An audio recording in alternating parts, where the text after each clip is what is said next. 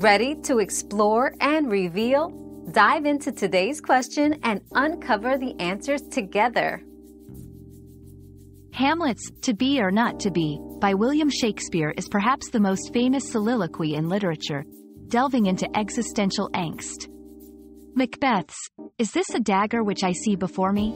also by Shakespeare, explores intense inner conflict. Dr. Faustus' final soliloquy by Christopher Marlowe wrestles with regret and damnation.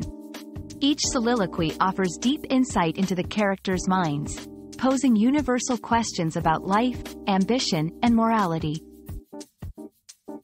Another mystery solved, but many more await. Keep up with our daily discoveries by subscribing and turning on notifications.